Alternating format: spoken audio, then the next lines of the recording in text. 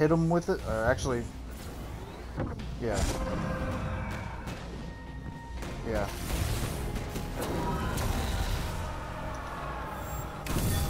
Oh no!